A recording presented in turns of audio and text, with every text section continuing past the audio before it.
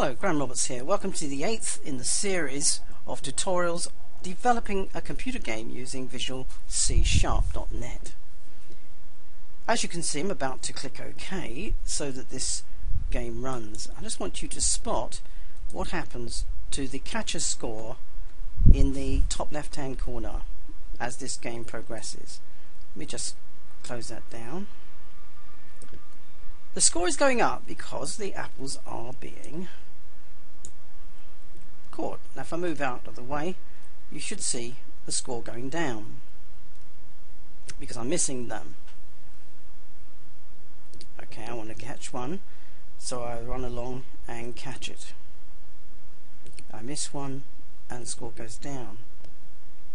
Now eventually that score will go down to a negative value but in the concept of the game and the design that's okay. By dragging down the height you can see what's really going on.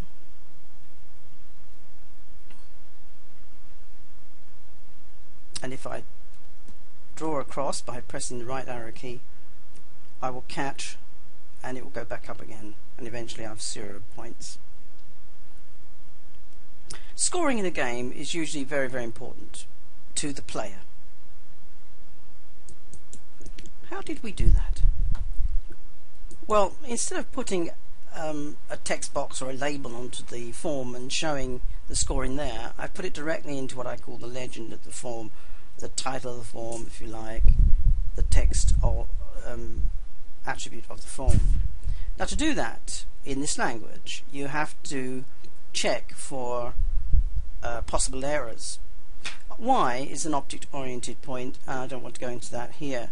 But if we can look at the um, the code I've put in to achieve this, I've written try brace form.activeform.text equals catcher score equals and then I've concatenated, added on as a string, the score. Now actually the score should have two texts but it's been intrinsically uh, converted for us to a string by this operator, the concatenation operator. We have to have a try catch because we have to check a possible exception or error that's in the text uh, assignment. We can only um, put text into the text property.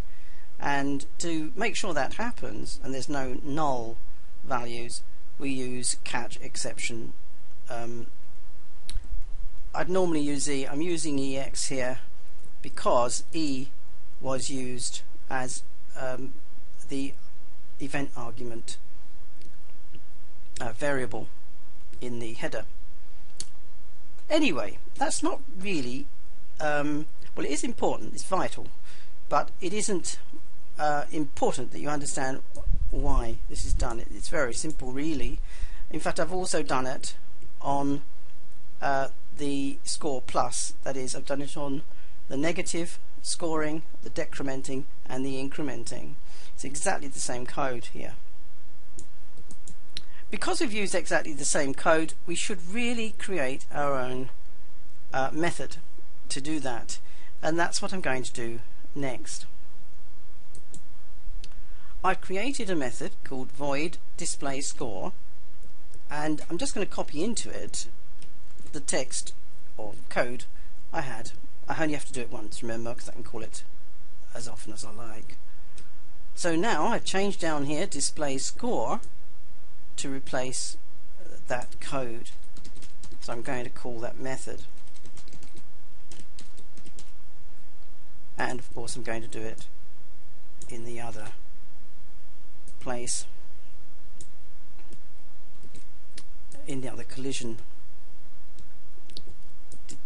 um, when there is a collision detection. So if we run this we should get the same um, result. Don't worry about this down here. The variable ex is declared but never used. It's a warning and it's simply because I don't actually print it out. Now you should be able to see this is doing exactly the same thing as before and um, if I go left and avoid catch we can see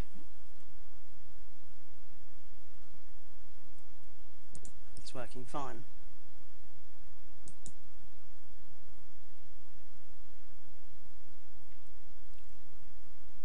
And there we go. So there we've created a helper method. All of that in less than, well, about five minutes. Now the other thing that the user will be, or player will be interested in is randomness. At the moment, when the game is played, the apple drops from one place to the ground and then kind of drops again in the same, well technically vector. It turns out to be relatively straightforward because, fortunately, C Sharp has built-in random number generators. What we need to do is make a declaration as an instance, uh, not an instance, sorry, a class variable, that is a static variable, something that's existent for the entire duration of the program, of type random. I've called it underscore r to signify it's some sort of system variable we're using there, and it is assigned a value of a random number when it's called. That's this line here. Now to use it, when we come down to the timer, when an apple misses the basket, it goes back to the top, which is value 0. And that's fine. What we want to do though is to set a new left property value. And we can do that with this statement here.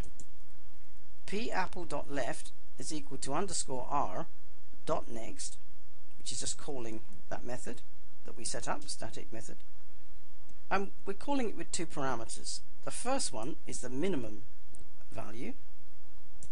Um, that is the width of the apple. So not zero, but the width of the apple so that the um, apple is a little bit off from the left and between that value and the width of the form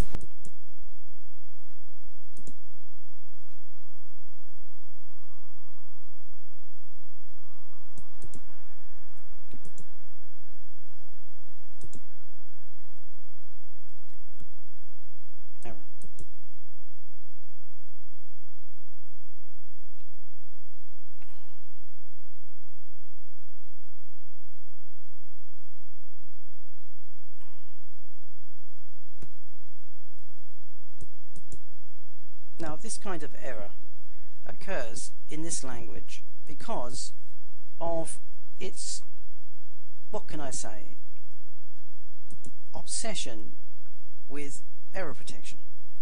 Just in case there's an exception and the value won't fit into the left property, um, it requires that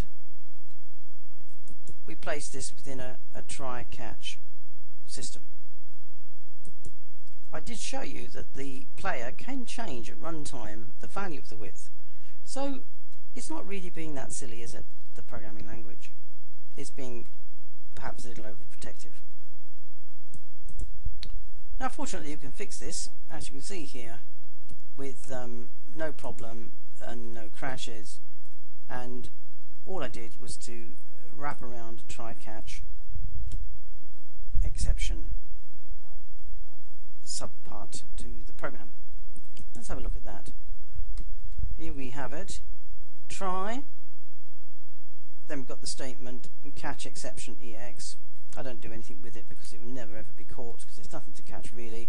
But at least I'm showing, willing, and uh, shutting up the system from its um, warnings and stopping the program running with an exception error.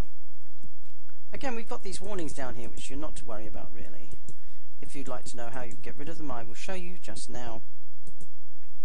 Inside the braces here, I've just written a declaration of a string, and I've set to it the um, exception message as a string. I don't use it or display it or show it anywhere, but um, it shuts up the compiler and it doesn't see that is something it has to warn about anymore.